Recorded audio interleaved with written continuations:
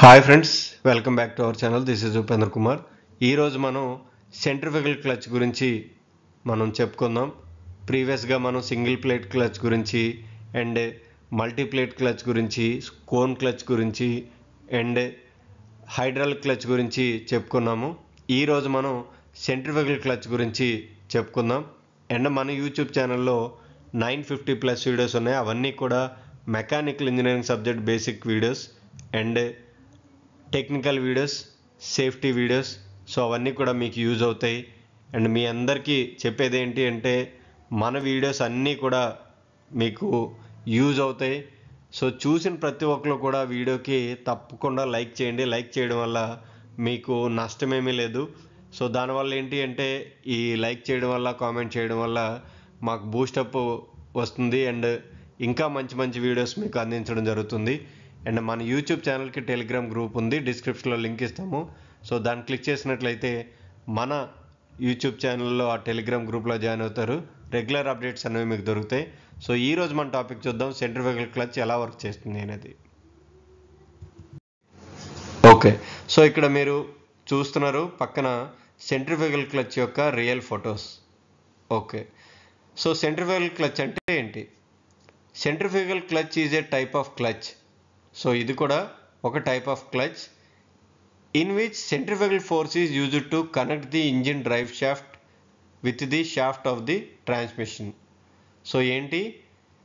ఈ క్లచ్లో మనం సెంట్రిఫికల్ ఫోర్స్ యూజ్ చేసి ఆ ఇంజిన్ డ్రైవ్ షాఫ్ట్ని ఓకే ఆ ట్రాన్స్మిషన్ షాఫ్ట్ని అంటే మనం ప్రీవియస్గా చెప్పుకున్నాం కదా ఆ డ్రైవింగ్ షాఫ్ట్ని డ్రివెన్ షాఫ్ట్ని రెండిటిని సెంట్రిఫికల్ ఫోర్స్తో యూజ్ చేసి ఈ క్లచ్ అనేది కనెక్ట్ చేసి ఆ డ్రైవింగ్ షాఫ్ట్ నుంచి డ్రివెన్ షాఫ్ట్కి పవర్ అనేది ట్రాన్స్మిట్ చేస్తుంది. It is placed between the engine flywheel and the transmission system same అన్ని క్లచ్లు ఎలా అయితే ప్లేస్ ప్లేస్మెంట్ ఉంటాయో సేమ్ అంతే. ఫ్లైవీల్ ఏదైతే ఉందో దానికి అండ్ ట్రాన్స్మిషన్కి మధ్యలో ఉంటుంది.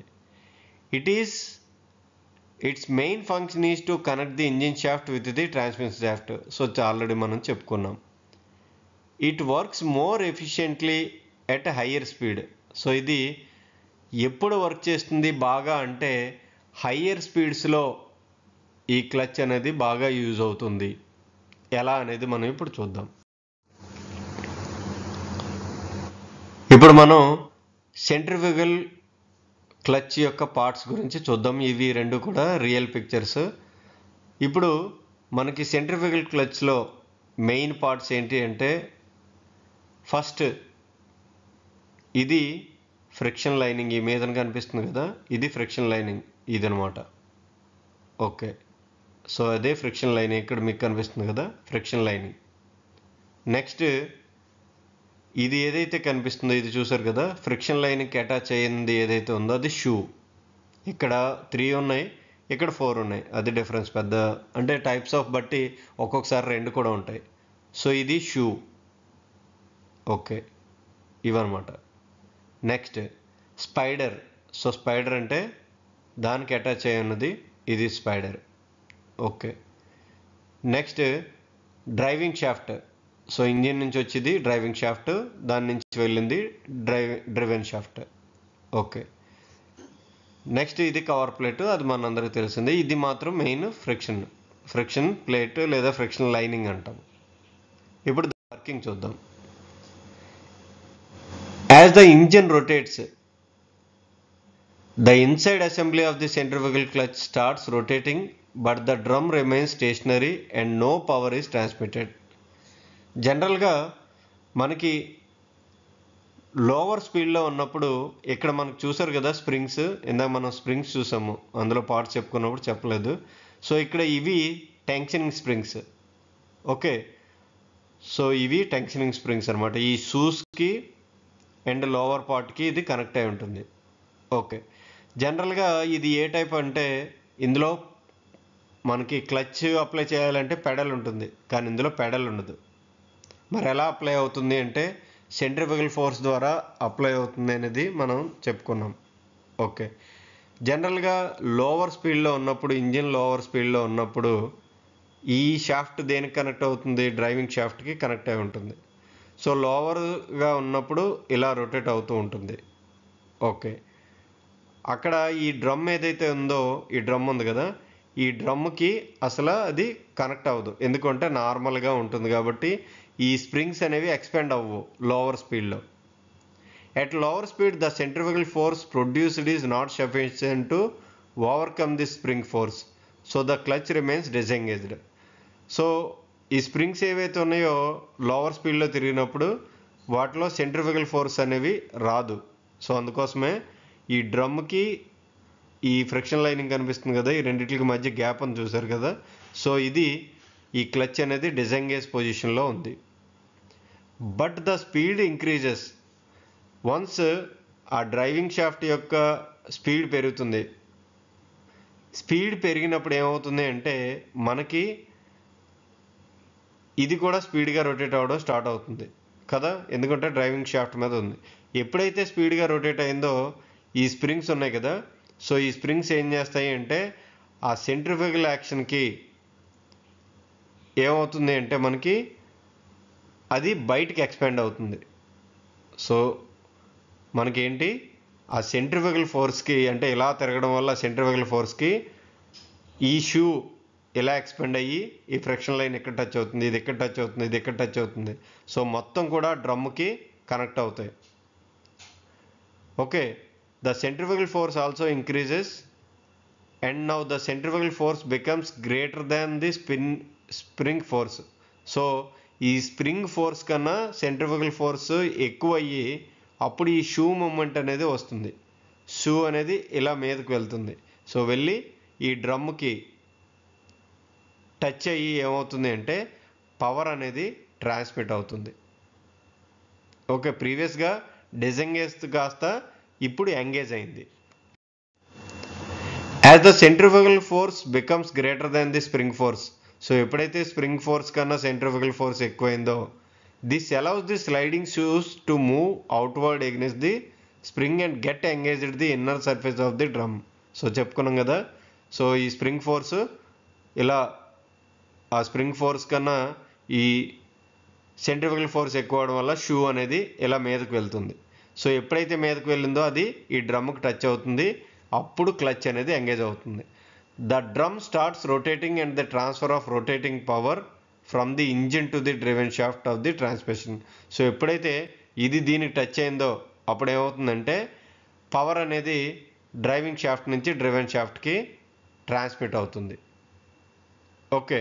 When the load on the engine increases it speed decreases and disengage the clutch so ఎప్పుడైతే సపోజ్ ఒక్కొక్కసారి ఇంజిన్ మీద లోడ్ అనేది ఇంక్రీజ్ ఏమవుతుంది? ఇంక్రీజ్ అయితే ఏమవుతుంది? ఆటోమేటిక్గా స్పీడ్ అనేది తగ్గిపోతుంది. ఎప్పుడైతే స్పీడ్ తగ్గిపోయిందో మళ్ళీ ఇది ఏమవుతుందంటే ఆ సెంట్రిఫికల్ ఫోర్స్ కన్నా ఈ స్ప్రింగ్ ఫోర్స్ ఎక్కువ అయ్యి అది మళ్ళీ వెనక్కి లాగేసుకొని ఆ ఫ్రిక్షన్ లైనింగ్ అనేది దానికి టచ్ అవ్వదు ఆ డ్రమ్కి టచ్ అవ్వదు సో అప్పుడు స్ప్రింగ్ క్లచ్ అనేది డిజంగేజ్ అయిపోతుంది. ఇది దాని యొక్క వర్క్. సో దాని యొక్క బిగ్గెస్ట్ అడ్వాంటేజ్ ఏదైనా ఉంది అంటే the biggest advantage of such clutch is that this can be operated without clutch pedal. దీన్ని క్లచ్ పెడల్ లేకుండా ఆపరేట్ అవుతుంది. ఎందుకంటే సెంట్రిఫికల్ ఫోర్స్ ద్వారా అది ఆపరేట్ అవుతుంది. The vehicle can be stopped even in geared position without stalling the engine. So జనరల్గా మనం ఇంజిన్లో gear పొజిషన్లో ఉన్నప్పుడు ఇంజిన్ ఆన్ అయినప్పుడు గేర్ పొజిషన్లో ఉన్నప్పుడు మనం వెహికల్ స్టాప్ చేస్తే వెహికల్ జర్కింగ్ అనేది వస్తుంది. కానీ ఇందులో అది అవసరం లేదు. గేర్ పొజిషన్లో ఉన్నా సరే మనం ఆ ఇంజిన్ని ఆ వెహికల్ని ఆపేసుకోవచ్చు. Only accelerate in required in this type of operation speed is to factor on which gear selection takes place.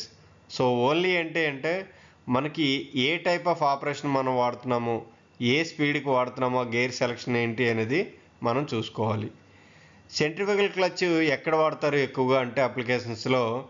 Mainly used in lawn mowers mopeds go karts mini bikes chain saws so ఇలాంటి వాటిల్లో ఎక్కువగా వాడుతూ ఉంటారు.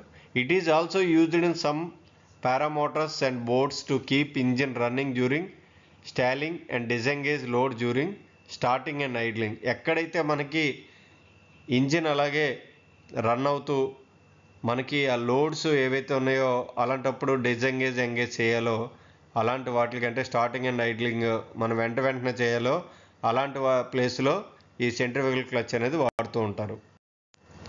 అడ్వాంటేజ్కి వచ్చేసరికి it is simple and require less maintenance. So ఇందులో అంత ఎక్కువ పార్ట్స్ లేవు కాబట్టి సింపుల్గా ఉంటుంది. మెయింటెనెన్స్ కూడా తక్కువ ఉంటుంది.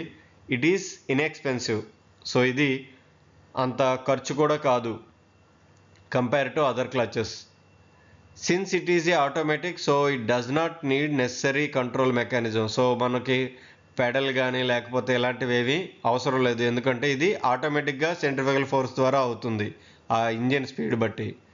ఓకే సో అందువల్ల స్పెషల్ కంట్రోల్ మెకానిజం అవసరం లేదు. It's engagement speed can be controlled by selecting an appropriate spring. So మనం ఆ స్పీడ్ అనేది ఎంగేజ్ చేయొచ్చు. ఆ స్ప్రింగ్ అప్రోప్రియేట్ స్ప్రింగ్ మనది చేంజ్ చేసుకుంటూ ఉంటే.